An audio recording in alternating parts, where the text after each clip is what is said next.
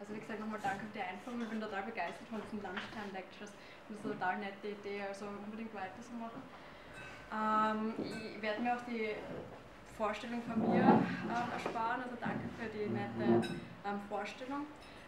Kurze Summary nur, also äh, meine Schwer Schwerpunkte sind wirklich Games Research. Das heißt, ich beschäftige mich mit virtuellen Welten seit 2011, wo ich damals am MIT an, einem, an einer ersten virtuellen Welt für Physikstudenten gearbeitet habe, bin irgendwie draufgekommen, es gibt irrsinnig viel Potenzial für solche Welten.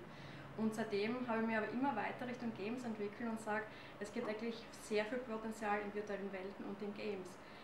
Ich nenne das diese, die Dreifaltigkeit von der Motivation, von Engagement. Und man sagt, okay, wir können Fun haben, um zu lernen zum Beispiel. Das finden wir alles in Spielen. Wir können dieses Gefühl der Immersion haben, das kann man in virtuellen Realitäten finden immer wichtiger mit, mit der Oculus jetzt und mit allen Virtual, Virtual Reality Devices. Ähm, wir können aber auch Kollaboration finden oder Motivation durch Kollaboration in virtuellen Welten. Ich werde jeden von diesen drei Punkten ein bisschen äh, genauer beleuchten, aber es wird alles nur eine Einführung sein. Ähm, fangen wir an mit, mit Engagement durch Spiele. Das heißt, man kann schon sagen, dass die alten Griechen bereits wussten, dass man Leute motivieren kann, indem man ihnen vielleicht Punkte gibt oder, oder zusätzliche Faktoren, dass man sie ein bisschen belustigen kann. Ähm, und es hat sich eigentlich ergeben, dass Spiele sehr viel Potenzial für sehr viele Anwendungsbereiche haben. Auch Digital Heritage, auch ähm, Digital Humanities, für alle Bereiche. Das ist, glaube ich, mein Lieblingskunstprojekt auf dieser Welt. Ähm, das sind die Gesichter aufgenommen von einem, also von einem kanadischen Fotografen, ähm, während die Spieler sind alles Computerspieler, einen ganz bestimmten Endboss besiegt haben. Also dieses Gefühl, kurz bevor sie erwischen, das ist glaube ich das Epic Win Phase, wie wir es in der Wissenschaft benennen. Ähm, und das ist halt das, was ich an Spielen liebe, diese Animation, die wir erstellen können durch Spiele. Ähm, und Spiele sind nicht nur, wie wir es im Klischee-Gedankengang haben, ähm, junge, junge Burschen, die vielleicht im Keller sitzen mit ihren Konsolen und, und spielen. Nein, inzwischen, es spielt jeder. Es spielt euer Großvater, es spielt euer Boss, es kann auch euer Professor Spieler sein. Ähm, und das sind Zahlen, die das Ganze belegen. Die ESA, das ist eine amerikanische ähm, Forschungsgesellschaft in Amerika, ähm, führt regelmäßig Studien durch in Nordamerika und 51% aller Haushalte besitzen bereits eine, eine Konsole, die nur für Spiele gedacht ist. Ähm, der durchschnittliche Spieler ist eben kein Junge, der im Keller sitzt, sondern ähm, ein 35-jähriger ähm, Benutzer. Durchschnittsalter 35. 31 war es 2014, jetzt sind wir schon bei 35, das ist halt total spannend. Und nicht nur Männer spielen. Genauso die, die, die Quoten sind ca. 56% Männer, 44% Frauen. Wir spielen genauso gern, sage ich mal. Ähm, vielleicht sind die Genres unterschiedlich, aber wir sind genauso eine Zielgruppe. Das heißt, ich, ich behaupte, ähm, Spiele sind großartig. Also das ist, glaube ich, keine Behauptung, das ist ein Fakt.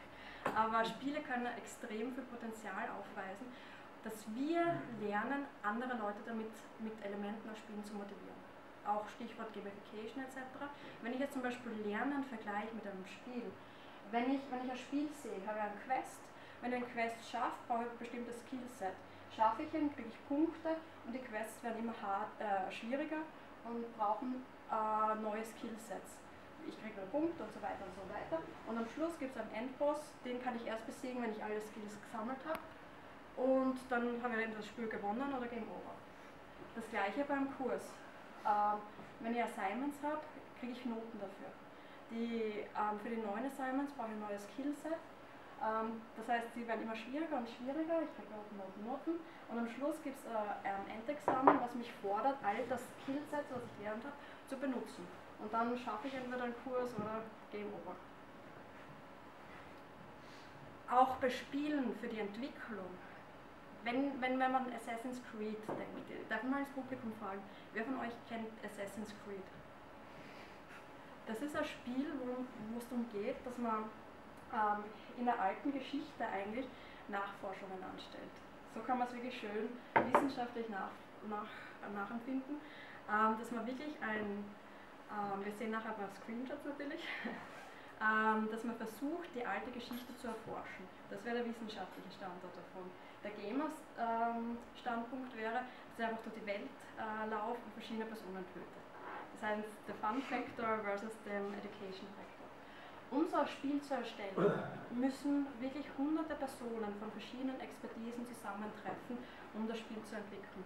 Das heißt, ähm, Leute mit äh, geschichtlichen Faktenwissen, Leute mit diesen Creative Writing Skills, Leute aus dem Bereich Musik, Programming, einfach total interdisziplinär. Und jede von diesen Personen steckt auch Expertenwissen dann in dieses Spiel. Das heißt, dieses Exper Expertenwissen werde ich als Spieler spüren.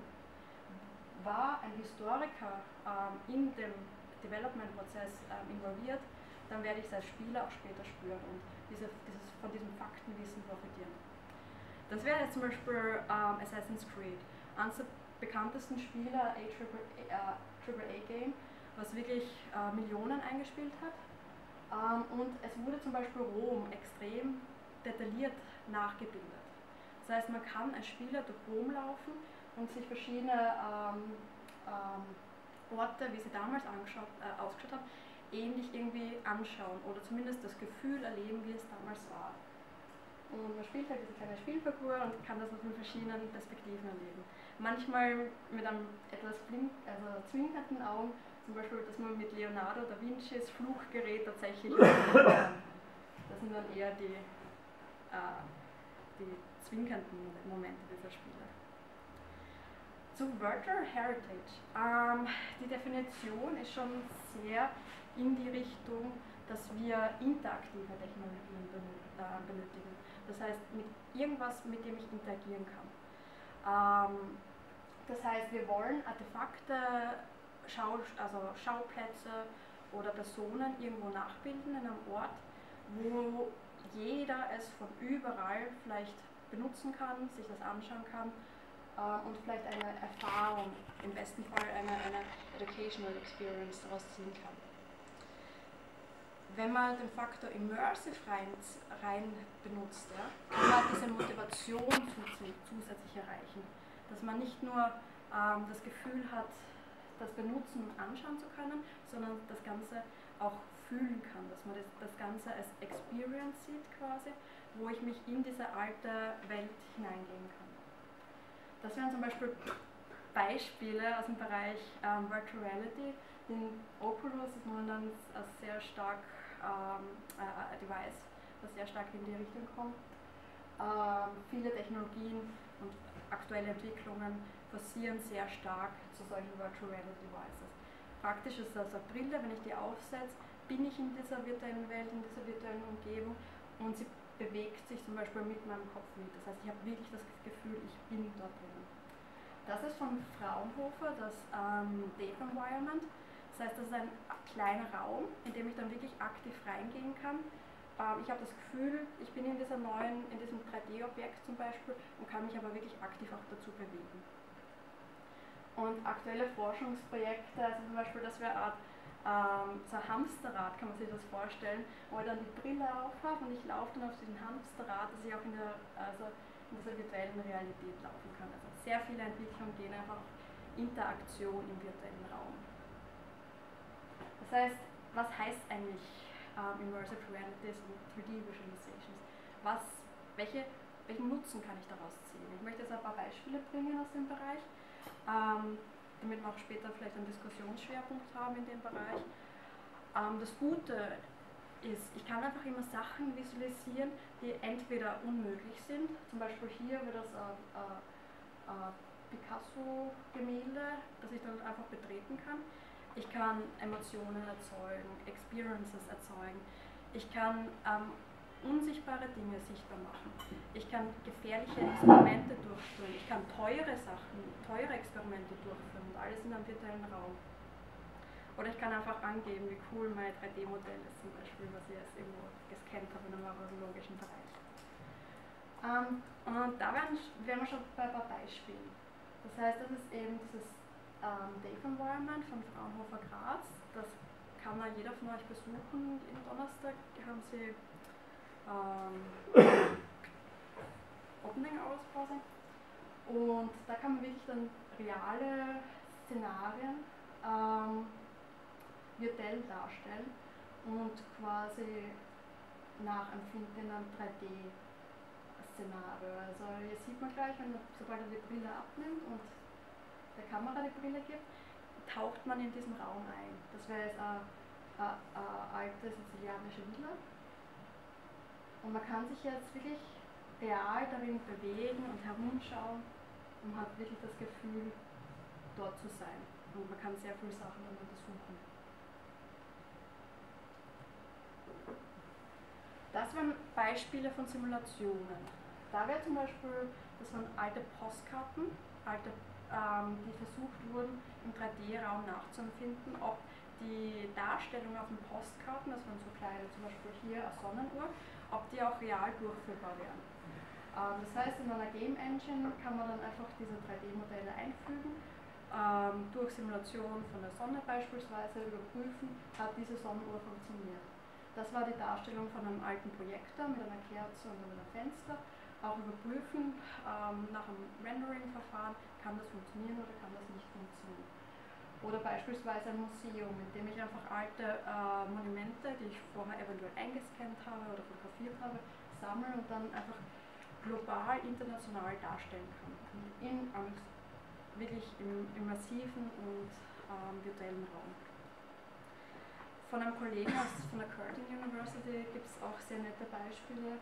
Ähm, das wäre zum Beispiel die, die ähm, Pompeii, die Darstellung von Pompeii oder von einem alten ägyptischen Tempel. Ähm, auch alles begehbar und man kann dann wirklich auch auf Details eingehen und sich Details ähm, ansehen und Details untersuchen. Den, den Aspekt, den ich auch besonders wichtig finde, das waren also alles Erfahrungen, dass ich zum Beispiel alte ähm, Objekte neu visualisieren kann den Teil, den ich besonders spannend finde, ist auch die Darstellung von komplexen Konzepten oder Prozessen oder unsichtbare äh, Dinge sichtbar zu machen. Konkrete Beispiele findet man dazu in eigentlich allen Bereichen, wo es einfach extrem sinnvoll ist, Visualisierungen anzubieten von Dingen, die sonst vielleicht zu komplex wären. Gerade in der Lehre oder auch äh, im Verständnis und Simulationen. Ähm, ich werde auch auf solche Beispiele näher eingehen im Bereich virtuelle Welten. Virtuelle Welten sind ein bisschen anders und zwar sind sie virtuelle Realitäten mit dem Faktor Mensch dabei. Das heißt, man kann zusätzlich, dass man sich diese, diesen virtuellen Raum anschauen kann, mit jemandem, der sich diesen, diese virtuelle Welt gleichzeitig anschaut, reden. Das heißt, mehrere Benutzer können sich einloggen oder können diese Welt besuchen und man kann mit diesen Benutzern interagieren. Beispiele dafür aus dem Spielebereich wären zum Beispiel World of Warcraft, Guild Wars, wo man einfach verschiedene Leute trifft, mit denen man sich äh, unterhalten kann und mit denen man versuchen kann, ähm, Quests zu lösen. Eine virtuelle Welt, die sehr auf soziale Interaktionen ähm, geht, ist ähm, Second Life zum Beispiel. Ähm, da geht es wirklich darum, dass man wie in einem Chatraum, Chatraum einfach Leute trifft und sich mit denen unterhalten kann und neue Kontakte knüpft. Wir verwenden diese virtuellen Welten hauptsächlich, um Lehrkonzepte äh, durchzuführen. Das heißt, in dem Beispiel, das wäre zum Beispiel, um Sortieralgorithmen zu lernen, ähm, um verschiedene Konzepte der Informatik zum Beispiel sichtbar zu machen, ähm, bieten sich solche Visualisierungen relativ gut an. In dem Fall können Studenten sich einloggen, da einen Sortieralgorithmus eingeben und für sie ist es wesentlich leichter, dann zu sehen, wie sich diese Kugeln von selbst sortieren, um das Konzept zu verstehen, als nur auf diesen Source Code zu, zu blicken. Und man könnte dann auch zwei Studenten, die sich gleichzeitig eingeloggt haben, eine Art Competition machen und wer den besseren Sortieralgorithmus hat, der dann schneller funktioniert. Also es kann dann auch einen sehr spielerischen Charakter haben.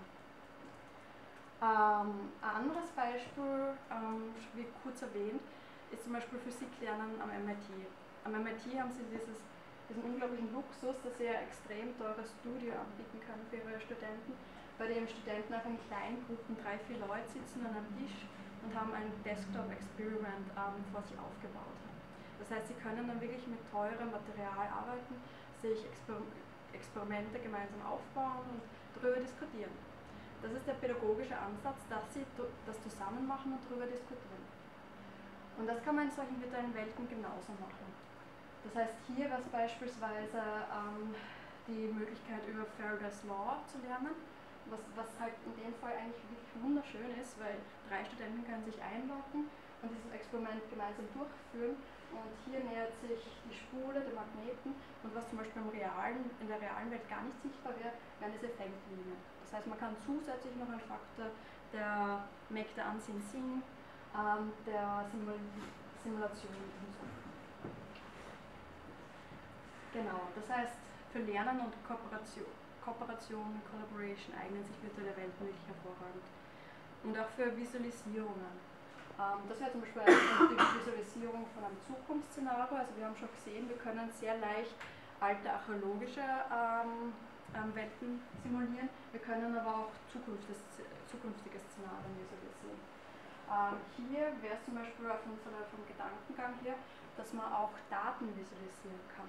Wenn ich zum Beispiel die Pollution Data, die, die Verschmutzungsdaten, ähm, Abgaswerte von Graz habe zum Beispiel, könnte ich Leute oder, oder, oder junge Leute darauf aufmerksam machen, wenn sie jetzt durch die Elisabethstraße gehen, ah, da ist ja so eine Staubwolke, wenn sie durch diese virtuelle Welt gehen, weil die Simulation sagt, okay, hier ist die Pollution Data höher als irgendwo anders in Graz. Beispiel. Ähm, das Projekt finde ich auch total nett. Ähm, das war eine Kooperation von Open Wonderland, das war die Plattform, mit der wir früher gearbeitet haben, äh, mit dem Boston Children Museum. Das heißt, im Boston Children Museum haben sie äh, eine Nachbildung von einem alten japanischen Haus. Also das japanische Haus steht in Boston und das kann man aber weltweit besuchen, indem man diese Welt, virtuelle Welt besucht quasi. Da können sich dann zwei, drei Kinder einloggen und dann einfach weltweit zusammen dieses alte japanische Haus anschauen. Das ist eigentlich auch total nett vom Educational Faktor, dass man das dann zusammen ähm, anschauen. Ein Projekt von einer Masterstudentin von mir war beispielsweise auch die, der Versuch, wie man ähm, durch exploratives Lernen zum Beispiel Konzepte im Bereich Ägyptologie ähm, ähm, vermitteln kann. In dieser Welt hat man verschiedene Rollen, also wir sehen da äh, mit das Beispiel, man hat in dieser Welt verschiedene Rollen und man kann entweder ist der Student ein Abenteurer oder Wissenschaftler, also wieder dieser spielerische Rollenspielansatz und jede von diesen Rollen kann nur spezielle Informationen ähm, auffinden. Das heißt, dann, dann suchen Sie in dieser Welt, zum Beispiel in dieser labyrinthartigen Pyramide, suchen Sie verschiedene Informationsstücke und versuchen dann in diesem kollaborativen Ansatz am Schluss alle Informationen wieder zusammenzutragen. Das heißt, in dem Fall ähm, würden Lisa und John wirklich wieder versuchen, zusammen ähm, die Lösung vom, vom äh, Mythos von Osiris äh, aufzudecken und wirklich zusammen auf eine Lösung zu kommen. Das ist wieder wie eine äh, Mischung aus zwei pädagogischen Ansätzen, und zwar auf der einen Seite ähm, dieser explorative Ansatz, dass man einfach die Freiheit in so einer virtuellen Welt hat, dass man sich verschiedene Sachen anschauen kann und auf der anderen Seite die Idee, dass man das zusammen mit anderen Studenten diskutiert.